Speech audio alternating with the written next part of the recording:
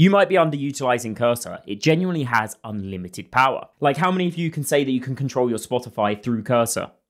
because I can, and loads more. Cursor has been awesome at speeding up my workflows, and by the end of this video, you'll be a productivity master with it, and you'll be able to use it to control basically anything, from your browser to Docker to databases to ClickHouse to even a Minecraft character, for some reason. We'll start out with the easy stuff, what I would call a 5 out of 10 on the productivity scale, and we'll work our way up to a 10 out of 10. You know what else is productive? Subscribing. The first tip is to make sure you have your rules set up in a way that you like. Now, you may have seen the .cursor rules file before, but did you know this is actually being deprecated and there's a way better way to do things now? If you haven't seen rules before, it's like a system prompt. It's custom instructions that guide the AI, tailoring its behavior to suit you. In your settings, head over to General and you'll find a section titled Rules for AI. Now, Rules for AI is global. It's carried over to every project that you do with Cursor. This is where you want to specify how the AI behaves in a general manner.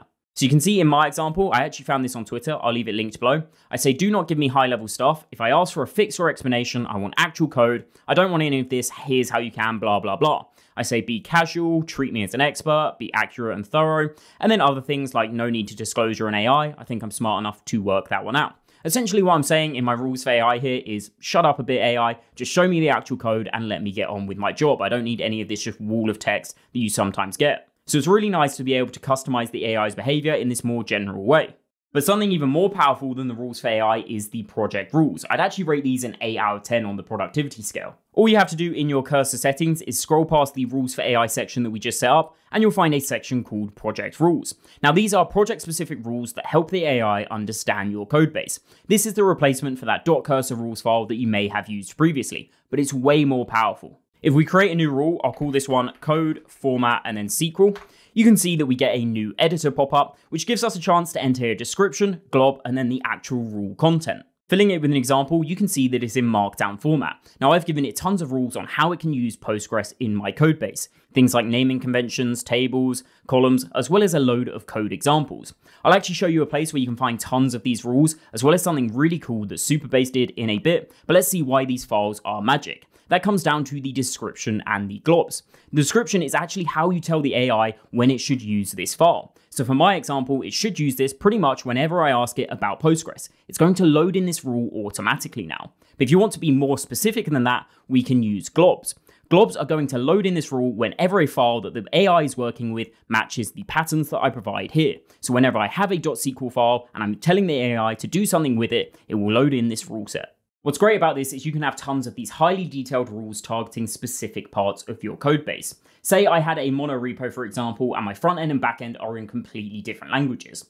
Well, now I can set up the glob to match when I'm in my front end or back end folder, and it will automatically load in the correct rules. It's way better than that cursor rules file, which tried to do everything at once, which could often end up confusing the AI. Once you've added a few of these, they're super easy to share with your team and save as well, as it actually goes ahead and creates a folder within your project. So we have the .cursor folder and then a rules folder, and in there you can see all of my rules in that .mdc format, which is Markdown with this extra description and globs. So now all I need to do is go ahead and commit this to Git and everyone on my team can start using the rules. If you want a great place to find examples of rules, you can head over to cursor.directory. As you can see, you can filter by your language, and then you can come in here and just copy and paste the rule that you want.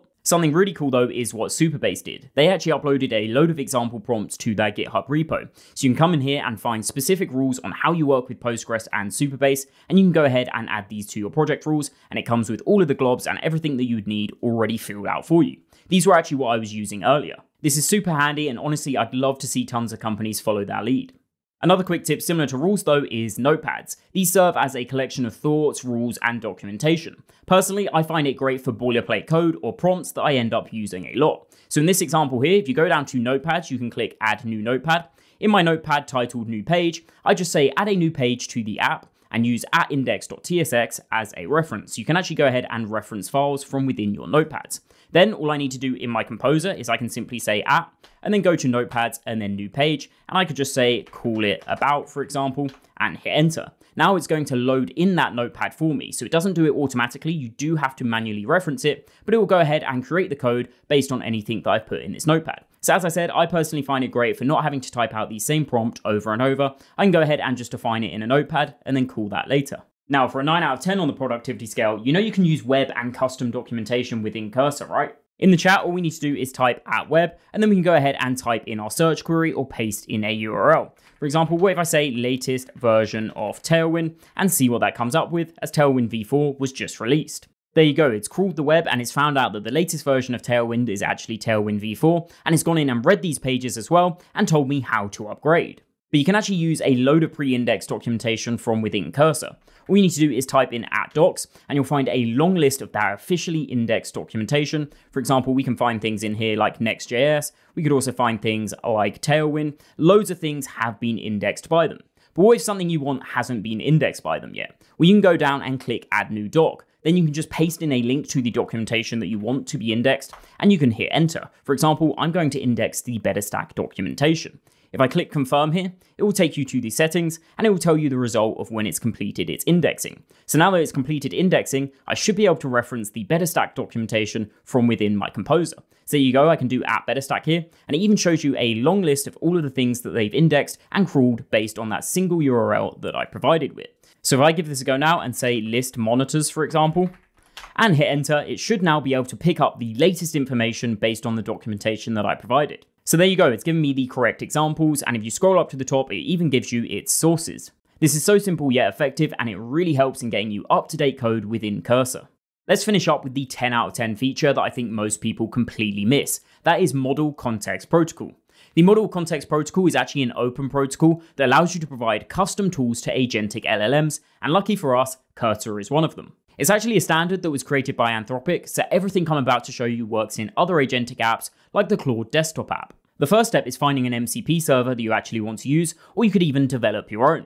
I found an awesome directory here that lists out tons of MCP servers. You can see there's tons of interesting examples, like one to interact with the Reddit API, to interact with DeepSeek agents, to take screenshots from Safari. Tons of different examples in here interacting with Perplexity. There's even official ones too, where companies have provided their own to interact with their services. Things like Composio in here, Tavily, Brev, Axiom, Llama Cloud, Postgres, Upstash, loads of examples you can find online. There is tons to choose from. For my example, I'm going to choose something a bit more useful than my Spotify demo, and that is a Docker MCP server. So with this, the agent will be able to go off, create Docker containers, look into the logs, stop them, run Docker Compose, tons of different things without it having to run a command in my terminal. So let's take a look at the setup instructions. Now it's going to be different for each MCP server, but generally they follow the same pattern, and we're looking for a command that we can run within Cursor, and I'll show you where in a bit. If I scroll down here, we have a quick start. You can see the command is UVX with the argument docker-mcp. Now, quite a lot of them follow this pattern. They use UV as a Python package manager and UVX to go ahead and actually run the Python code without installing all of it on your system. The other pattern they follow is some of them use an npx command instead. It seems like this one has both, but I'm going to be using the UVX command. In Cursor, then head over to Cursor Settings and then Features. Scroll all the way down, it's quite a hidden feature, to MCP servers, and you see I already have that Spotify example that I showed you in the intro. This one is actually just running a UV command for code that I have on my system, as I actually made my own modifications to it. All we need to do is click Add New MCP Server, give it a name, choose the type. Now, if you're not clear on this, go ahead and check the documentation for the MCP server that you're using. Our one was using the type of command.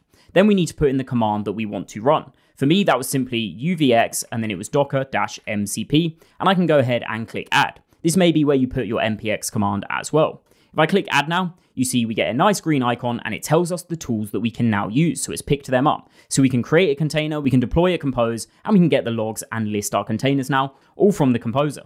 Let's try out our new tool then. All you need to make sure of in Composer is that you're in the agent mode. And if I say something like create a hello world Docker container, this should run off and call our tool now. As you can see, it's calling the MCP tool create container, and you actually see the arguments it's calling it with as well. So it's looking for the image hello world, and it will give it a name of hello world test. Then we can go ahead and click run tool here, and you can see it's created the container, and it's even going ahead and checking the logs so we can see the output. And I can go ahead and expand this and see the logs that we got out of that tool right from within the agent mode here, and that means it's added to the context as well. So if there's any issues, it should pick it up automatically, and I can actually start to debug within Cursor from my Docker logs. This is what I mean when I say it has unlimited power, since there's so many MCP tools out there. Now, one annoyance you might run into is clicking run tool all of the time. In the cursor settings though, you can actually enable a YOLO mode. Obviously, this is a little bit more unsafe as it allows composers to go ahead and run tools without asking for confirmation, even things like executing commands. But if you go ahead and enable it, you do get a couple of cool options, like you can give it a description of which commands should be executed automatically and let the AI work out whether it's allowed to, or you can actually just give it a command allow list and deny list. So if you're really trusting of AI, that can save you a bit of time. There we go. Hopefully you learned something new about Cursor today. Do you have any of your own tips? Let me know in the comments down below. And also let me know if you knew about MCP servers. While you're down there, go ahead and subscribe. And as always, see you in the next one.